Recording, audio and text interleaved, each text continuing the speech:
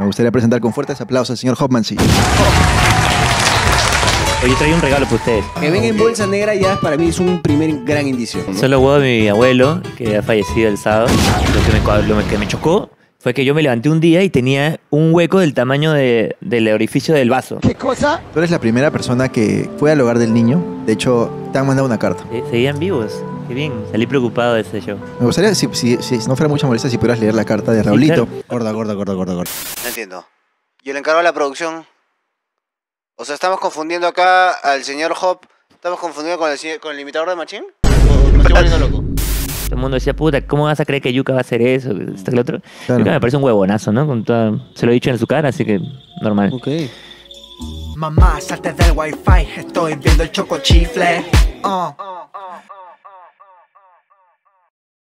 Una risa, una sonrisa. Ver los dientes de esa persona que no creías que se podía divertir en la reunión familiar. Hacer reír a la chica de la preparatoria cuando menos te lo De la esperabas. cintura para abajo, de la cintura para arriba. ¿La abuela dónde está? Comiendo ensalada de papa. Eso y muchas cosas más son muchas de las razones por las cuales el día de hoy tenemos un gran invitado. Que me gustaría presentar con fuertes aplausos al señor Hopman. Sí. Muchas gracias. Buenas noches, caballero. ¿Cómo se encuentra? Estoy muy tranquilo, es verdad. Sí. Sí. Estás Feliz en paz, también de estar estás en acá. paz. Estoy en paz. Este, sí, estoy en paz. Un día, Eso es una muy pajita antes importante. de venir. Como, Una pajita. Sedita, Claro. entonces. Sí, estoy. Una paja and go, como Mi pene dicen. está como. Está como- Claro, Claro, está- como gatito. Claro, claro. Claro. Yo creo creo que... arena y a dormir. Yo creo- primero voy a decir, es mala educación comer sin antes invitarle al invitado, ¿no? Así que yo me gustaría decirte, por favor. Me, me he portado muy mal. El a cámaras, famoso chocochifle. tú agarra el chifle, remójalo y sé sincero. Es todo lo que se te pide, sé sincero. A ver, a ver, Uy, a ese ver. tiene como, Ese para levantar. ese tiene Parece- como convexo, ¿no? Como claro, convexo. parece como una quesadilla ahí donde El- puedo. cuch- la cucharita tiene. Uh, ¡Ah, la, la mierda! Cuidado, ¿ah? Crema en la casa, ese crema en la casa. Es la Copa. crema de la Claro. casa. Tiene un ingrediente patentado.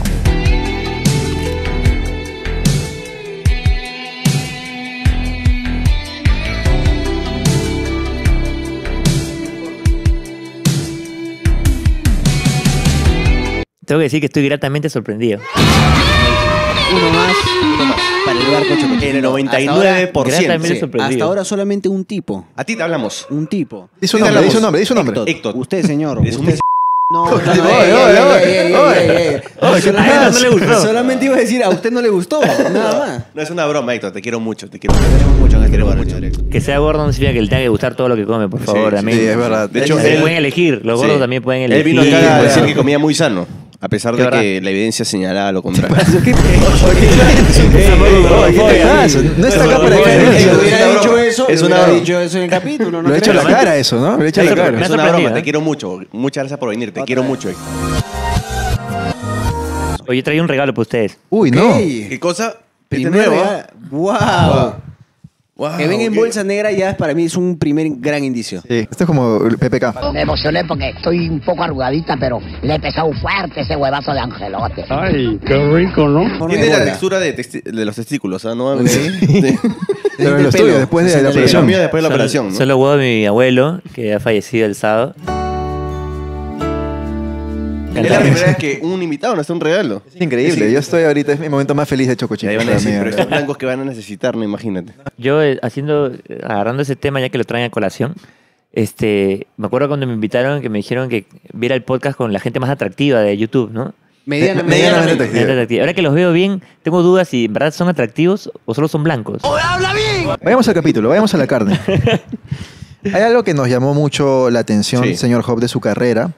Y es de que, y que nos gustaría que, que- que lo confirme o lo desmienta, ¿no? Pero tenemos entendido de que el génesis de que usted haya, digamos, hecho el salto de su carrera, de su trabajo a, a la comedia, ¿no? Y a vivir del stand-up y, y- y lo demás, se debe a un, a un fuerte miedo a la calvicie.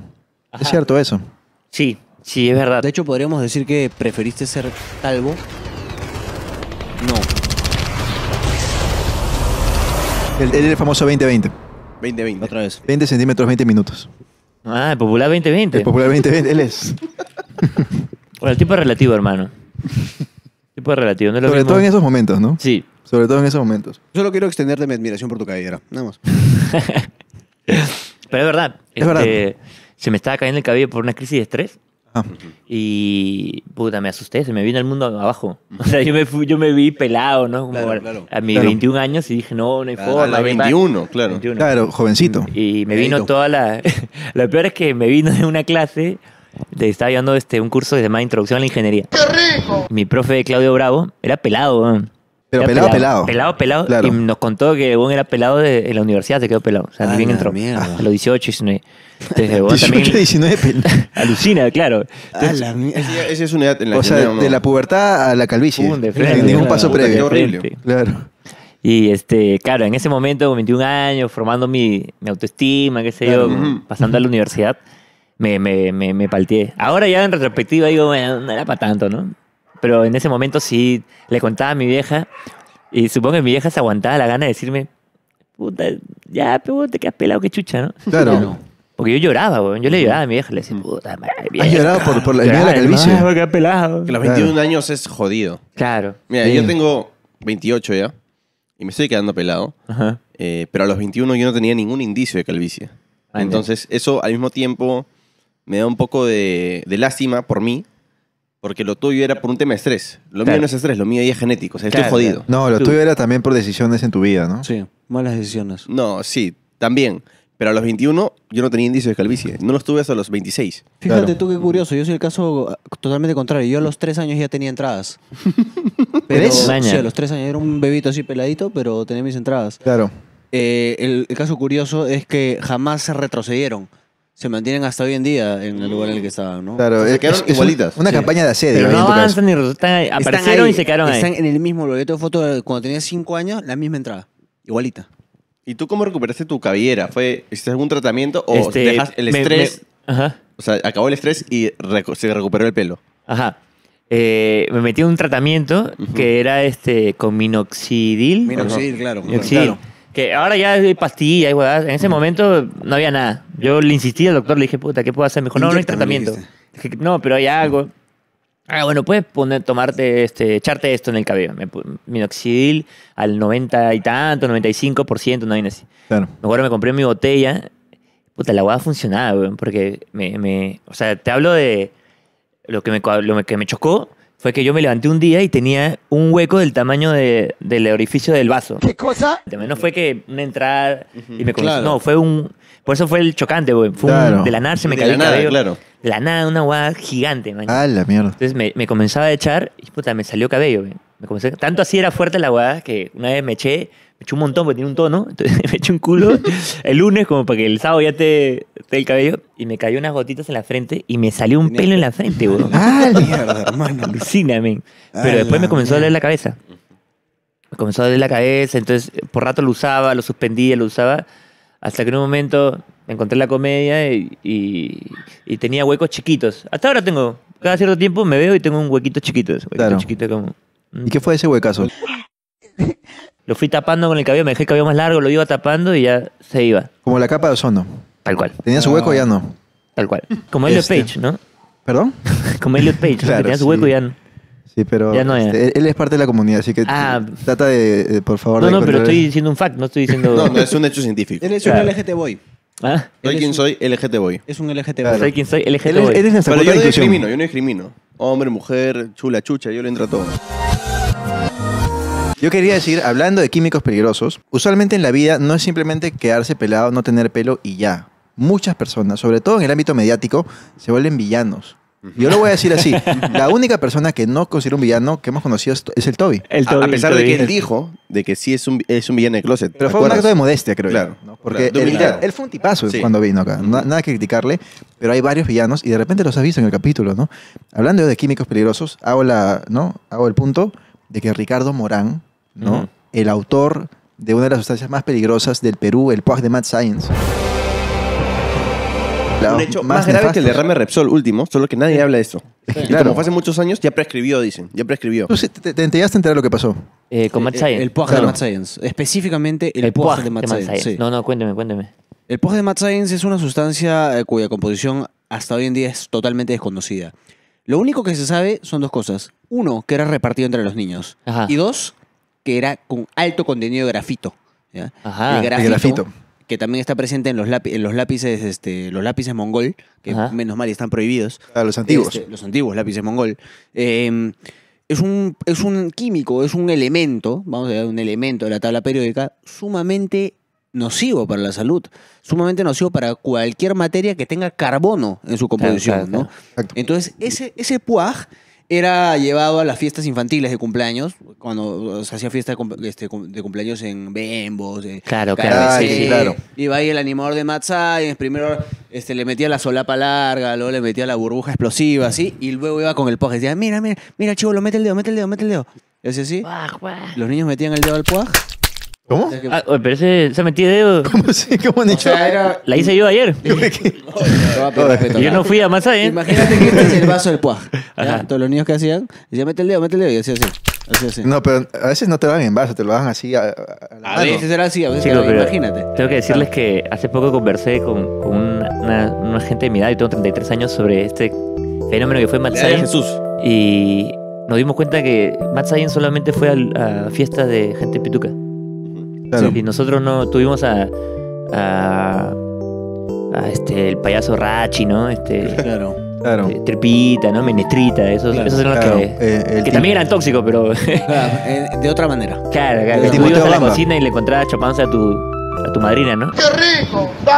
¿Tú, tú estás familiarizado con el caso de Chernóbil, el pie de elefante. Era un gran un artefacto, un pedazo de material radioactivo de no sé cuántas toneladas, que lo veías dos min, morías en el acto. Eso era puro grafito. Te iba, se- iba matando. 30 segundos ya, ya estás generando tumores. Pero Claro. dos min caías. en 10 tu segundos sitio. morías en 3 años de cáncer. Sí. Wow. Ujú. Qué fuerte, Y eso man. está en el post de Mad Fuente pantalla. Pero todavía no, no es un caso concluso. No podemos Vaya. decir de que esto es la verdad. Se está investigando. Presuntamente. Y con eso vamos a una pausa. A ver, Pi, cuenta, ¿qué fue? Habla. Catrina. Eh, la placa de Pepe Lu. Sí, La que está en bola. sí, Sí, ¿Qué fue? ¿Qué fue? Yo soy el papá. Yo soy el papá. Y ella lo sabe, ¿ok? Y me he estado peleando con ella todo este tiempo porque le digo, escúchame, ya habla. terminas, terminas con Pepe Lu y haces una familia Pero conmigo. Pepe Lu es tu causa. Oye, Vamos a jugar eso. Con todo respeto, el primer juego de mesa del Chocochifle. Llegó el sheriff. Antes del inicio de cada juego, Todos los que viajarían en el tiempo y matarían a Hitler de 120 cartas para chupar con les pibes. Divertite con retos, trucos y hasta besos de tres. nunca voy a poder decirle que es mi hija. Voy a vivir el resto de mi vida. ¡Y tu carta, mierda! A la cuenta de tres, todos los que han visto porno de Pokémon, así sea de Con casualidad. todo respeto, escribinos al Instagram y adquirir ya tu ejemplar. ¡Con todo respeto! El juego perfecto para armar el quilombo con el piberío. Es del Chocochifle. Bueno, Job, queríamos, ya fuera de la cháchara, la broma y todo eso, ponernos un poquito serios y agradecerte de corazón porque tú eres, tú eres la primera persona que, que fue al hogar del niño, a, a ayudar a los niños de- de- del hogar del niño y a darles un poco de humor y un poco de comedia. Quiero que las gracias queden como que ya, gracias y ya. De hecho, te han mandado una carta. Se- Seguían vivos. Qué bien, qué bien. Vivos, seguían vivos. Salí preocupado de ese show. Me gustaría, si, si, si no fuera mucha molestia, si pudieras leer la carta de Raulito, claro. que nos ha mandado acá. Te Raulito. dejo. Raulito, ¿te acuerdas de Raulito, el mayor, el, Sí, el sí. grandecito? Ese no lo adaptan, pero ni de broma. Pero es, es muy hábil con las letras. Ya de tener 35, ¿no? Está- está- tiene 15, pero sí, sí parece un poco más viejo. La vida es dura. No, no sé, es que como trabajaba de los cinco. Claro. le- le- se le había acabado. Carta de Raulito. En nombre de mis compañeros, los olvidados, los no deseados, los hijos de la calle, el fango y el barro. En nombre de ellos, doy mi más sincero gesto de gratitud por habernos visitado. Por habernos dado risas a carcajadas, esas que iluminan toda la semana a huérfanos como nosotros. Usted cambia vidas, no lo olvide. Muchos lloramos porque no se llevó a uno de nosotros consigo. Pero es un dolor familiar, estamos acostumbrados. Lo que no esperábamos sentir era la calidez de alguien que, a pesar de haber crecido en la calle, no guardó rencor, ni de remordimiento, ni mucho menos se ahogó en la arena movediza que llamamos pasta básica de cocaína. Muchas gracias, imitador de machín de la calle. Nunca olvidaremos lo que hizo por nosotros. ¿Por qué te han puesto Sí, porque. imitador de Machín de la calle? Eso sí me parece una falta de respeto. Este, voy a pedir Este, perdón. Gorda, gorda, gorda, gorda, gorda. No entiendo. Yo le encargo a la producción. O sea, estamos confundiendo acá al señor Hop. ¿Estamos confundiendo con el, señor- con el imitador de Machín? ¿O me estoy volviendo loco? No, yo creo que es una Sí. confusión. No, no, eh, eh, explíqueme. porque No, es una confusión. No, es una confusión. Ah, la Mira. carta no era para mí. Hermano, ¿Tú se fue, tú fuiste nosotros pagamos un culo de plata a ese encargado de mierda. ¿Ya? Pagamos un culo de plata a ese encargado de mierda. Y no puede ser que ahora estemos confundidos los invitados. A ver si, si se puede presentar. Si se puede presentar en mi oficina el día de mañana. ¿Ya? Acá somos profesionales. De estos encargados ya estoy harto. Yo ya estoy harto. ¿Puedo hacer que apunte a otro lado, quizás? Sí, sí, sí, está apuntando Sí, porque peligrosamente. estaba un ¿eh? poco... Que apunta a los encargados, al menos. Entonces yo, de verdad, sinceramente, te pido disculpas. Te pido disculpas de, La- de la todo el acepto, equipo de la Chocochifle. ¿no? Y te aseguro, te aseguro por mi viejita. Está ahorita en San Isidro. Este, que el día de mañana el encargado ya no va a tener trabajo. Despejemos. eh, Esto está muy tenso. Vamos a despejar, por favor. Ok. ¿Puedes, por favor, sacar el rifle ahí? Si, si no es mucha molestia. Vamos a aligerar un poco esto con un segmento que llamamos Describe esa imagen.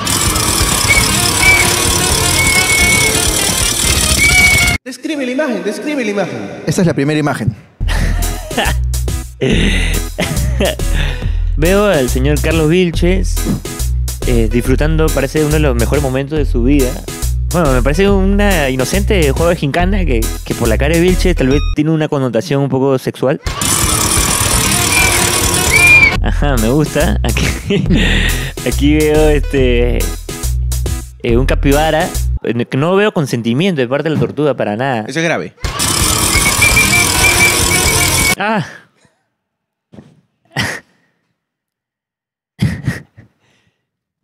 eh, Alto ahí. Imagina lo siguiente. Tu mami te toca la puerta a las 9 de la noche y te pregunta si has visto una platita que tenía guardada en su cartera. Parece importante.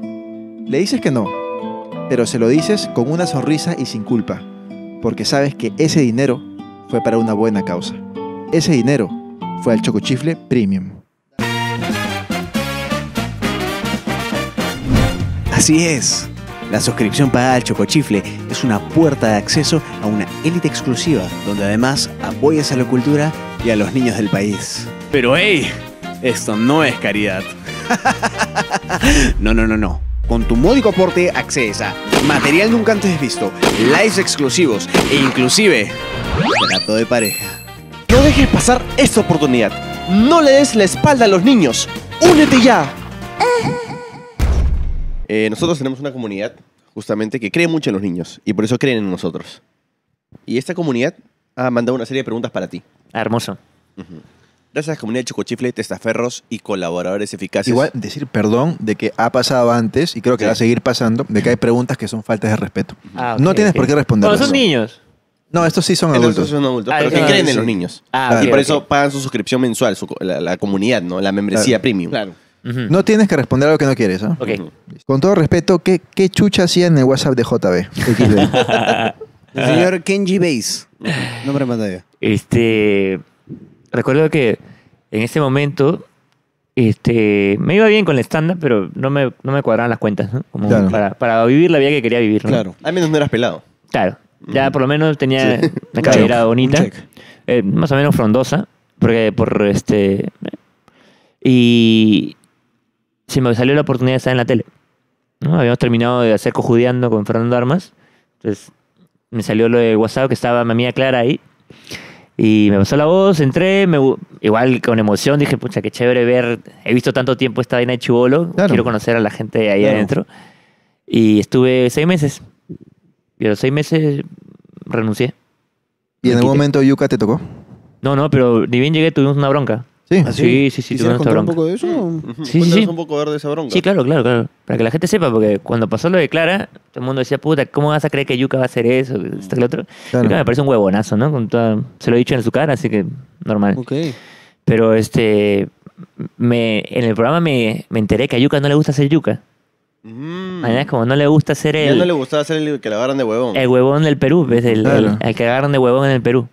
Entonces, este, tiene ahí muchos complejos de inferioridad. Entonces llegó este actor, comediante, que yo tenía muchos estudios de comedia y todo, y me trataban súper bien. Eh, Jorge me, me daba texto, me daba como mucha confianza, ¿no? Se puso celoso. Se puso celoso. Mm. Entonces un día yo, Ah, eso es un pobre tipo. Sí.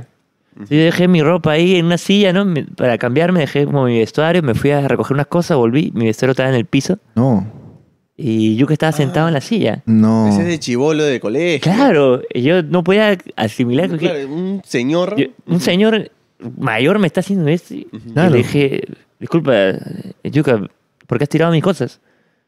No, que tú las pones ahí, ¿para quién te ha dicho a ti que te puedes reservar? Tú te crees la gran cagada. Y ahí me lanzó todo. Tú te crees la gran cagada, que porque tú eres Ah. actor y te dan texto, te crees la gran cagada. Que la- me lanzó toda su mierda que yo ya en ese momento tenía cierto entendimiento de la vida y dije, maña, me está... El tipo está triste, ¿no? Está triste con él mismo. Pero en ese momento también fue tanta la violencia que Obvio, también respondí y le dije, déjate huevadas, a mí no me bote la ropa, con chatumare, ¿no? ¿Qué, qué pasa? Claro. Entonces, bueno, se paró y me acuerdo que Cachito se metió, el Felpudini, como... se- me separaron, toda la vaina vino Jorge. Fue un sketch de JB. Yo no. Y Jorge en su cara le dijo, ¿no te da vergüenza que este chico seguro te ha visto de niño en los sketches y ahora se da cuenta que eres un imbécil? ¿No te da Ah, vergüenza? Bien, Sí, bien sí. JB ahí, ¿ah? Sí, ahí, ahí. Por eso me sorprendió cuando no se puso firme cuando pasó lo de Clara. Porque en ese momento el huevón me defendió. Pero cuando trataba a una mujer no lo hizo, así que siempre fue raro eso, ¿no? Este, pero sí me defendió en ese momento y Yuka quedó medio palteado. Mi tío Felpu también dijo, es un huevón. ese". Y ya de ahí como fuimos limando, ya, huevón, ya no me hablaba y con eso yo, hacía mi- yo iba a hacer mi trabajo, ¿no? Claro. Claro. Era que chucha yuca. Qué Claro. pena, porque a mí yo era fan de yuca. Sí. Y ahora. Era fan de que le peguen con la raqueta esa de, Sí. de mosquito.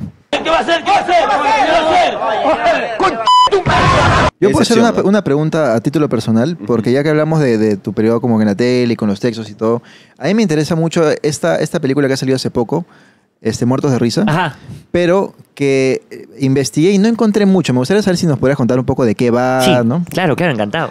Este, Muerto de Risa es eh, una película de Ladines donde se sigue la vida de Javi, que es este comediante que tiene un show eh, que se llama Muerto de Risa, que es un show bastante en vedettes, ¿no? Como, eh, Como los de un, humor, un humor bastante Chabacano. burdo, chabacano, se burla de la gente, como bastante criticable, digamos, ¿no? Ajá. Y este, debido a que su padre fallece, huevón se replantea si lo que hace está bien o no y, y comienza a volver al, al origen de por qué quiere hacer reír a la gente, ¿no? Entonces, Claro. En ese viaje, este, descubre cosas en la comedia, habla sobre la comedia, se mete en la escena de la comedia limeña, en la stand-up limeña y su guía un poco en ese viaje, en ese viaje al héroe es este, Isela Ponce León, el personaje que hace.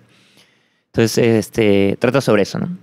No Sobre el, sobre el humor, es una crítica al humor, cómo, cómo lo llevamos y Como todo. una reflexión del humor que él hace y si está bien, si está mal Sí. y todo eso. Sí, sí, sí. ¿Y cuál es tu, tu papel ahí, si se puede revelar? ¿no? Este, bueno, yo siempre, como lo he dicho en algunos shows, siempre me llaman paseo de fumón, ¿no? Qué rico. Y la Dines me dio la oportunidad de superarme, de no casillarme en un papel y ahora soy dealer.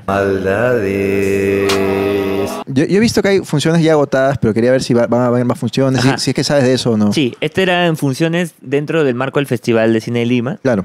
Este, así que felizmente se agotaron gracias a la gente. Y eran funciones especiales porque estamos compitiendo en Hecho en el Perú, que es una categoría del Festival Cine Lima, Ya. para ver si ganamos eh, película hecha en el Perú. La mejor de las suertes. ¿eh? Y si ganan, Gracias. se ganan este, un, un amor Nobel- Nobelizario o Eh, como- creo ¿cómo que se llama? ganamos, ganamos 20% de descuento en Noche en las Dunas. un, sí, un, un paquete de chifle con, con tu chocochup. Qué rico. ¿no? Este, y ya en noviembre es el estreno oficial ya en salas comerciales donde vamos a guerrear para ver que no nos desplace algún superhéroe o... Blue alguna- Beetle, Blue Beetle. Lo- Pues. el Blue Beetle ojalá que no nos gane. Claro. El estreno comercial, yo voy a estar ahí, ¿eh? Por favor. Quiero agradecerte, Hop, por haber venido aquí, por darnos tantos buenos momentos, risas. Eh, para, mí, para mí es, la verdad, un sueño cumplido. Yo aprecio mucho tu stand-up, tu gracias. humor, tu ética de trabajo, ¿no? Se ve que, que eres alguien profesional. Yo, sobre todo, yo personalmente en Perú, que hay tanto poco profesionalismo, yo siempre que veo a alguien profesional, siento cosquilleo abajo. Hay una musaraña, una polilla ahí, pimporoteando de aquí para allá como La pelota sangre de... fluye. La sangre fluye, ¿no? La sangre peruana. Ahora, no es necesario, pero si deseas, el foro es tuyo para darle un mensaje a los niños que viste la vez pasada en el lugar del niño. Ah, qué bien. Este. Bueno, niños, este. eh, me, me, da- me apena que, que hayan crecido sin padres. Pero créanme que yo conozco mucha gente que ha crecido sin- con padres y, y no funcionó. Como yuca. Ajá. Además, si ustedes, este, le recomiendo ver animes. Se dar cuenta que los mejores personajes del anime son huérfanos, así que no desistan, eh, coman una manzana del diablo y adelante. Qué hermoso. Se puede. ¿Sabes cuántas veces han venido invitados y han dicho que se escapen, Sí. que se vayan corriendo al hogar del niño? Es, me alegra mucho cómo tú lo has manejado, la verdad. Me parece un mensaje sincero. Sin bromear, serio, sincero, honesto, con esperanza, sobre todo. Yo voy a concluir acá que eres una buena persona. Aplauso, nos vamos con un aplauso. La pantalla siempre no. Vaina,